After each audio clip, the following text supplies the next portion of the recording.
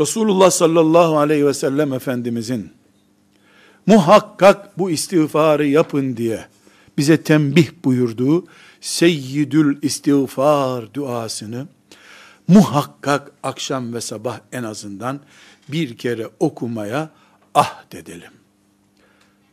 Böyle bir sözümüz olsun. Seyyidül istiğfarı okumadan gözüme uyku girmeyecek diyelim. Bir toplantıya katıldığımızda, bir yanlış iş yaptığımızda, bir hata işlediğimizde Seyyidül istiğfar duasını okuyalım.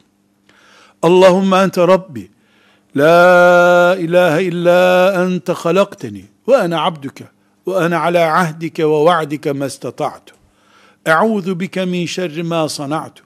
Ebu'u leke bi ni'metike aleyye ve ebu'u bi zenbi. Feğfir li.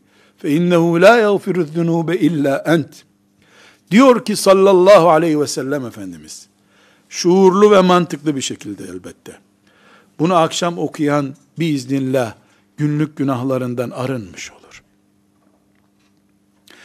Böyle peygamberin ağzından çıkmış şekliyle okuyacağız. Hem çocuklarımıza hem kendi zihnimize anlamını da yükleyeceğiz. Allah'ım sen benim Rabbimsin. Senden başka ibadete layık bir ilah yoktur. Beni sen yarattın. Ben senin kulunum. Ezelde sana verdiğim sözümde ve vaadimde hala gücüm yettiğince durmaktayım. İşlediğim kusurların şerrinden sana sığınıyorum. Bana lütfettiğin nimetleri yüce huzurunda minnetle anarım.